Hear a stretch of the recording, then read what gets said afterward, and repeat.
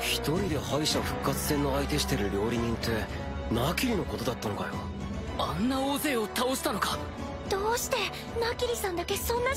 ミスナキリエリナが敗者復活戦の挑戦者を全て下したと。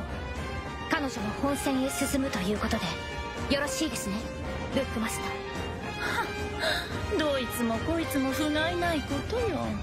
寄ってたかって小娘一人任せぬとはこの大会に神の舌はいらぬのにね。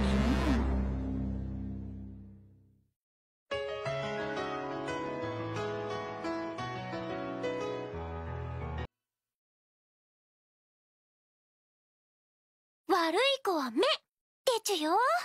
田所